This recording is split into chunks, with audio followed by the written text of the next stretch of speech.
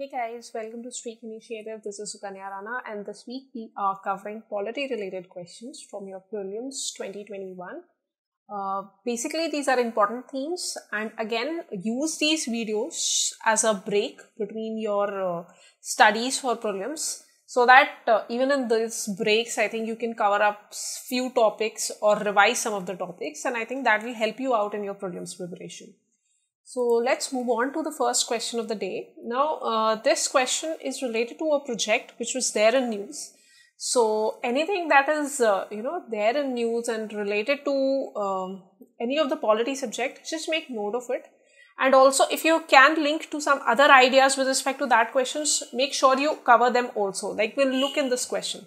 So this question is particularly about e-courts project and uh, you have to identify which of the following statement is correct? So the first statement is that it is a pan-India project monitored, funded by Department of Justice. Second is that it is uh, one of the national e-governance project being implemented in district subordinate court of the country. Third is that the project has been implemented by E-Committee, Supreme Court of India, along with Department of Justice, NIC. So uh, the you have to identify uh, whether all these three statements are wrong or some of them are right or all of them are right. So uh, see the answer for this particular question is D. All the statements are right here. Uh, but there are a couple of things that you should know about like um, what uh, what is this e courts project you should know uh, whether it's limited to only the Supreme Court or High Courts or even the district courts are covered under it or not right? So these are some of the things that you should know. There's this term that has come in this particular question that is uh, e committee of the supreme court. Now what is this e committee who is the chairman of this committee? Who are the members of this particular committee? So all these things you should be aware about. This is very important right? So uh, make sure any question that comes you're able to link it to other aspects. Like uh, there was another piece of news that has been there in your current affairs which is national judicial data grid. Now is it anyway linked to this? Right? So you should know all these ideas. Now this is how you link the questions to other current affairs and you're able to revise a larger portion. Right? So that is the approach you should always follow for prelims. Now um, the answer here is d and recently a draft vision was actually released by in fact e-committee of the supreme court and that is why this question was in news. So yes they are covering even the subordinate and the district courts. Basically the idea is that it will allow all the uh, you know designated services to be provided to your litigants the lawyers and the judiciary through the universal computerization of all the infrastructure that is present in these uh, courts at various levels right? So it's a pan india project basically and that is why uh, uh, providing that e connectivity is very important. And uh, yes it is monitored by a department of justice but there are a couple of other bodies also that are working on it like nic is working on it. Uh, and uh, also like i talked about um, national data uh, judicial data grid. Now in fact that is a flagship project which is implemented in e-court project right? So that is something that comes under this project. So that is also another thing that you should know because um, N- NJDG is basically aiming as ease uh, like a ease of doing business kind of a thing. Like it's it's improving the innovation it's improving data collection within the courts so it's one of the part of a larger project which is e-courts project. Right? So uh, yeah, always trying to link all the questions to various aspects so that you can have a better revision with every questions. Next question that we're going to do is a star campaign campaigner.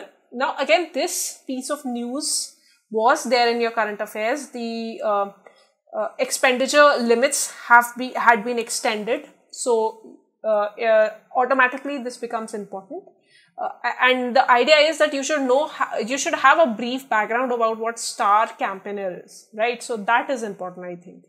So the first statement here is that um, the expenditure which is incurred on campaigning by stars is exempt from being added to the election expenditure of the candidate.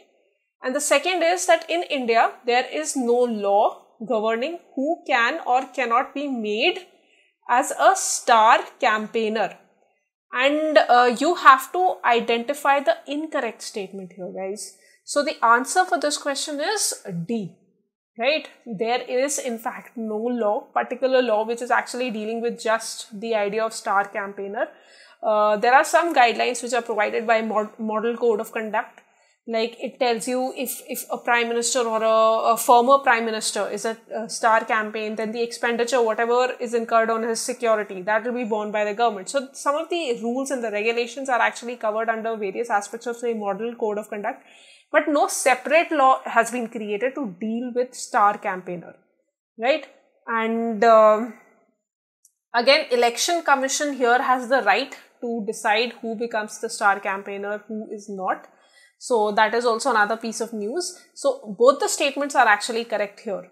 All right and uh, uh, like i told you the expenditure limit was increased. That is why it was in news. And also some of the other details like uh, if it's a registered party uh, uh, and a recognized political party, then they can have 40 number of star campaigners. On the other hand, unrecognized ones can have 20. So these bits of details that is associated with the, these particular uh, star campaigners, you should know. Uh, like also uh, uh, within how many weeks of notification should should the party submit their names of star campaigners. So all these small small details are important here. Um, so keep an eye on whenever you're revising your uh, current affairs related to these ideas. Next question of the day is tribunal. I think even before I had uh, put up a tribunal related question, like I told you, tribunals was in news. So all the ideas with respect to tribunals, like various tribunals and uh, this particular ordinance, they all become very important right? So this particular question is actually talking about your Tribunal Reforms Ordinance 2021 and it's picked up some of the uh, features from it. So the first is that under this, the chairman and the member of the tribunal will be appointed by the central government on the recommendation of search come selection committee and second is that it amended uh, the Cine- Cinematography Act 1952 and abolished this particular tribunal which is Film Certification Appellate Tribunal. So uh, the answer, uh, you can pause the video, think for a time and then you can listen to the answer. So the answer here is uh, D guys. Uh, again, be careful. The question says you have to identify the incorrect statement. Don't make such silly mistakes. So the answer is D here and uh, basically the idea behind uh, this particular ordinance was how we can rationalize um, the number of tribunals that are present there and improve their condition of service. So, um, under this, nine laws have been replaced with the uh, the appellate uh, with respect to this appellate authorities, and uh, the government came out rules with respect to the appointment of members to these tribunals. So we had this search come selection committee, and uh, in this particular committee, what is there is number one, we have chairman as the Chief Justice of India, right? And if if if he's not present, then in in place of him, a judge, a Supreme Court judge, can be nominated by him. So there there's a big list of uh, people who are part of this particular search committee. Like there are secretaries nominated by the government, uh, any outgoing uh, you know judge of a or a, a chief just chief justice of a high court can also be part of it there are other set of restrictions also being put here, like what is the term of the office, that is four years. So all these ideas have been covered in this particular ordinance. Make sure you go through them. And like I told you before, uh, uh, some acts now here. So Cinematography Act was covered here and uh, in total nine acts have been, uh, you know, replaced with so make sure you just have one glance over these acts so that uh, you don't get confused because we've got a lot of them like trademarks, copyright, patent, Airport Authority of India, uh, the control of national highways. So a lot of acts have been covered here. Make sure you have one glance over these acts. The next question, we're going to pick up a commission. Now again, uh, the commission that I picked here is uh, related to scheduled caste. Now, why did I pick here is more important rather than this question. I picked up this particular commission because uh, recently what we did was we celebrated the 130th uh, birth anniversary of B.R. Uh, uh, Ambedkar uh, ji, that is Bharat Ratna. Right? So automatically this kind of uh, you know there's this i created this linkage with the schedule caste uh, commission and that anniversary. So this linkage is not just limited to prelims. Make sure even you keep that watch out even for mains. Like br ambedkar as a topic is very important you should know the parties he's created. Uh, even um, sometimes you know uh, not in UPSC, but in couple of other papers, they directly ask you about, say, his dictatorial thesis that he's created. So that thesis also have been important for other papers, I guess.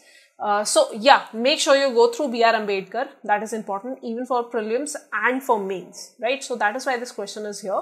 So this question is talking about National Commission of Scheduled Caste. The first statement here is that it is a constitutional body which is established under the Article 338 of the Indian Constitution Second is that the member of the commission uh, are appointed by the president under his warrant and seal. And third is that the condition of the service and the tenure of the office of the uh, members of this particular commission are determined by the president. So I think if you've done your static portion in a very nice way, I think you'll be easily able to attempt this question. I think uh, not even the linkage to current affairs, like it was in news because of this 30th, uh, 130th anniversary but still, if you've done your static portion, you'll be able to attempt. All the statements are correct here. So the answer here is D. Uh, uh, the article that covers here is in fact 338. It is, uh, the members are appointed by president and again tenure is decided by them. So I think this can be said uh, as a simple question, but make sure again, the point that I made in the first uh, part of my explanation that B.R. Ambedkar as a topic is very important both for prelims and for mains. Now, let's look at the last question of the day that we're going to talk about. Now, again, uh, right to freedom of movement is something that is, can be done based upon your uh, understanding of the static portion also. But why was it in news? Because uh, there was this uh, ruling by Bombay High Court where the FASTag making it mandatory for all vehicle would not violate citizens' fundamental right. So with that linkage of FASTag and everything, this issue had come in the news and that is why this question is here. So it's important you understand how this particular thing works. So the question here is uh, related to freedom of movement and the first statement here is that it is protected against only state action and not private individuals. And the second statement here is that it is guaranteed under the article 19 of the Indian constitution and uh, you have to identify the correct statement here. So the answer here is C guys. Uh, I think even with static portion you can easily understand uh, that uh, you can easily attempt this question also. Uh, again uh, some few other details here that yes every citizen have, has a right to move throughout the country and it is only given to the citizens right foreigners do not have that kind of right and also the thing is uh, that there are certain kind of restrictions that have been placed upon this particular right like uh, preserving the tribal culture and all that stuff. And uh, that is why um, mm, uh, you you might have heard about a lot of things like inner line permit and all those things. So that is in keeping with those exceptions. So the statement one is right uh, statement 2 here is, see, there are two set of movements within the country and outside the country. So when we're talking about moving outside the country, that will be covered under Article 21, not Article 19. So be careful about that fact. I think that is a good fact to remember. Uh, so guys, that's it for today. Uh, all the best for your prelims. Keep on revising, keep on uh, working hard and I hope you sail through and all the best. Subscribe to our YouTube channel and press the bell icon on the YouTube app and never miss another update from Civils Daily.